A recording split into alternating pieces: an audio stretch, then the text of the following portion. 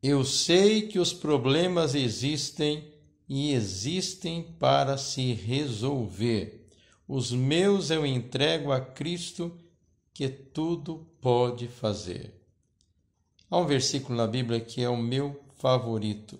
Está em Filipenses capítulo 4, versículo 13. Posso todas as coisas naquele que me fortalece. Ele está dentro de um contexto.